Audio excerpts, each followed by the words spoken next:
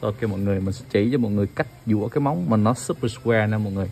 So how you, define them down. Ok nè mọi người nè mọi người đi thẳng đây nè. Này mình sẽ kỹ chỉ cho mọi người cách dũa đầu móng thôi nha còn dũa hai bên này mọi người tự biết nha. Đó nè mình sẽ dũa đầu móng mình sẽ đặt cái dũa này. Mọi người đặt cái dũa nhưng mà mọi người phải nhìn thấy được nghe. Mọi nhìn mọi người nhìn thấy được cái điểm hở chỗ này này khi nào mình dũa này mình dũa này giữ cái đầu móng cho nó kỹ nha mọi người giữ cho kỹ nha. Ok đó, mọi người dũa qua giữa lại thôi.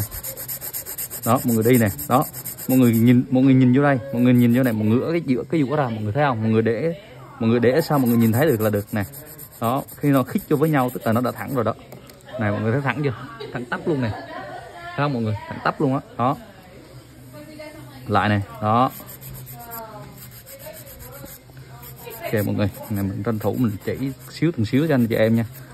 Nè ờ, xíu mình chỉ cho quá này ok mọi người giữ cái móng kỹ cho người ta nha. Nè nắm cái dũa này phải có lực nha mọi người. Nè mọi người chỉ đi này đó.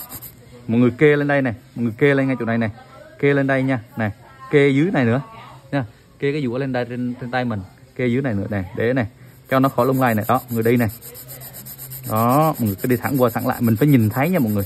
Mình thấy nhìn thấy cái đường dũa nó đây nha. Đó thấy chưa? Nè mọi người thấy thẳng không? Mọi người thấy thẳng chưa? Đó thẳng tắp luôn á mọi người không không trật đi đâu luôn á. Ok lại một lần nữa này mọi người. Này lại này. Đó. Mọi người ngửa ra dậy để mọi người dũa lại mọi người thấy cái đường đường dũa nó đã đi thẳng hay chưa? Đó mọi người thấy không? Đó. Thẳng chưa? Này, thấy chưa? Thẳng tắp luôn á. Đó. đó. Ok mọi người.